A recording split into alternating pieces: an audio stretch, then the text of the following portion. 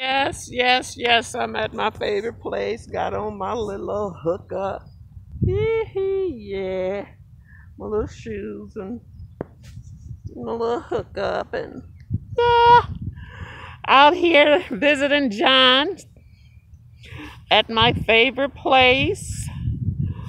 And um he'll been passed away it'd be what six five six years uh sunday which is october the 18th 2020 john passed away october 18th 2015 so i'm a day or two early but that's fine. I'm here.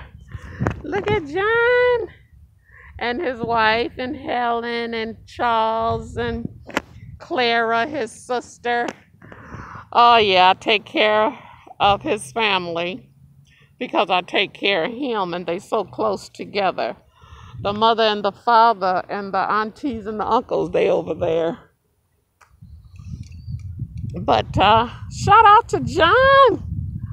And then his birthday is November the 11th, 2020, which is next month. He'll be 96 years old, and I'll be back.